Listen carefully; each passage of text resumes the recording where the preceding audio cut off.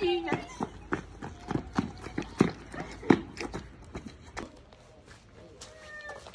Hvad må det er, der græder? Tuder du? Nej. Hvad er der sket? Hvad er der sket? Gustav har mobbet mig. Har Gustav mobbet dig? Ja. Lad os finde ham sammen. Og lad os hugge af hater.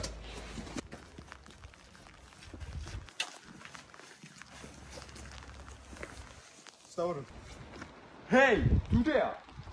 Har du mobbet Mads Joost? Det lille svens. Jeg skulle da, jeg er en fucking hater, mand. Har du haft en dårlig dag? Hvad laver du? Ja, du har haft en dårlig dag.